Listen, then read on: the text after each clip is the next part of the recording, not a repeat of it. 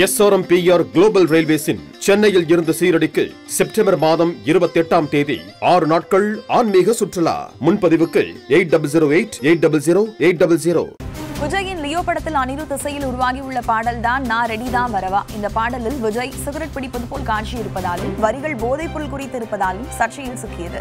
இருந்தபோதிலும் கல்லூரி விழாக்களிலும் நட்சத்திரங்களின் இன்ஸ்டாகிராம் பக்கத்திலும் தொடர்ந்து இந்த பாடல் ஒழித்துக் கொண்டே இருக்கிறது. இந்நிலையில் இளம் நடிகை அதித்தி சங்கர் நான் ரெடி தான் வரவா பாடலுக்கு காருக்குள் ஆட்டம் போட்டு வீடியோ ஒன்றை வெளியிட்டுள்ளார். இந்த வீடியோ தற்போது படு வைரலாகி வருகிறது.